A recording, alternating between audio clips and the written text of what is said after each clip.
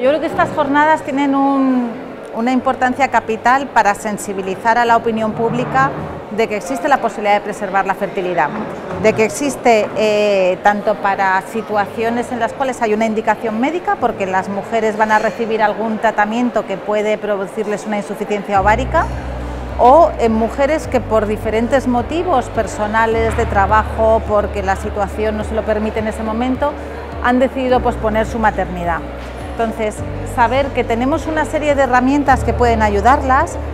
eh, que esas herramientas hay que aplicarlas a una edad determinada, que no debemos llegar demasiado tarde y esa edad pues debería de ser idealmente antes de los 35 años. Dan pie a introducir tecnologías novedosas que están irrumpiendo en la biomedicina, como las tecnologías de edición genética.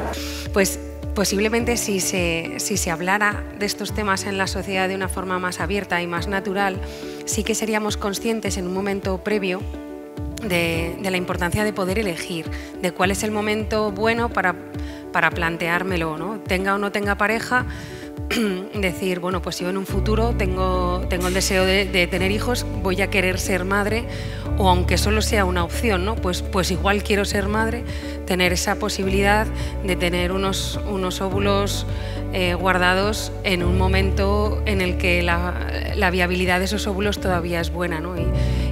pues la idea es ser un poquito la cabeza visible y los que intentamos propagar esta idea tanto a otros eh, ginecólogos como a la sociedad, a las mujeres, a distintas asociaciones pues, de mujeres trabajadoras, de asociaciones de pacientes con cáncer.